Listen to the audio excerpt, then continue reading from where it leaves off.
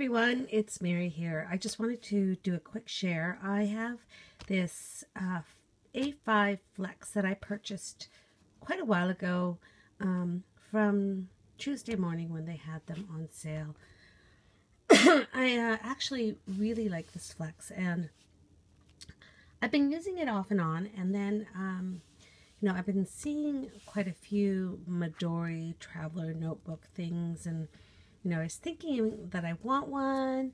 And then, um, you know, I'm trying not to spend as much because I have a lot of Filofaxes too and planners. So um, I remembered this flex that I had and I barely, barely used it. I mean, I have um, some stuff in here that I've written notes on and um, I'm thinking about trying to incorporate more sort of um, menu planning in a way, um, making it a little bit more um, freestyle. And then I realized, like, this flex actually has a really nice cover. And I know the Midoris, they use these little elastics to um, hold notebooks in.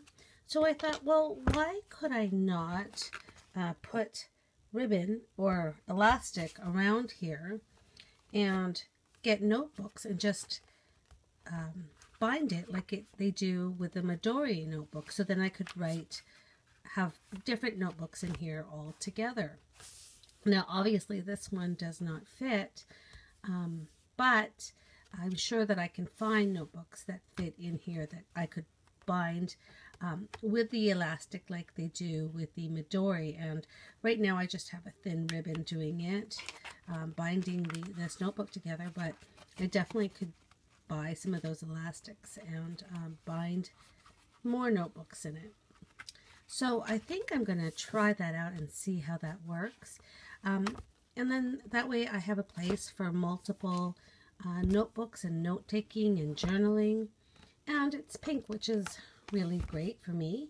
And um, I love that it has like these pen loops and lots of different pockets.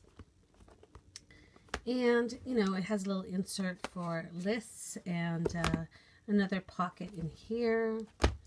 So I thought, you know, um, I would try this out and see what it's like.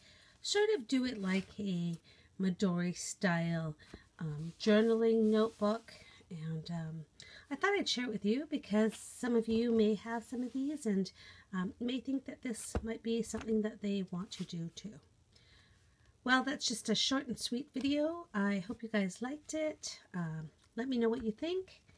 And uh, maybe later on as I work with it, I can share what I have in my notebook for you.